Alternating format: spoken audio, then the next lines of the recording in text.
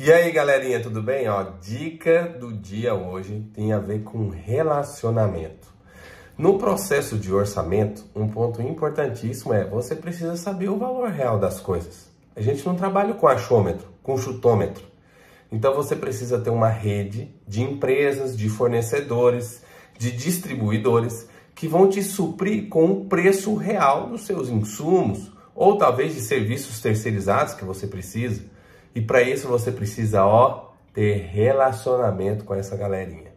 Não é simplesmente você ser um cliente caroço que pede uma vez e vai. Lembra, o orçamento é um dos passos iniciais para você gerar todo o seu processo de execução da obra e realização das compras. Já vou te deixar aqui, vou te adiantar uma próxima dica, tá? O cara ou a empresa ou os distribuidores que normalmente orçam para mim são aqueles que têm privilégios, são aqueles que estão em primeiro lugar na fila daqueles que eu vou procurar para comprar os insumos. Esse é um dos segredos de uma boa obra é você ter um processo de compra bem feito e bem realizado. E sabe onde eu vou comprar em primeiro lugar? Naqueles que me ajudarem na hora que eu estiver fazendo um bom orçamento.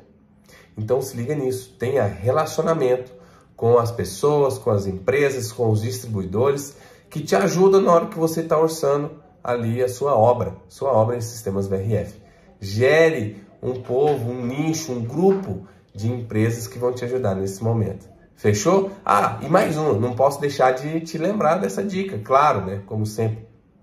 Cria um banco de dados.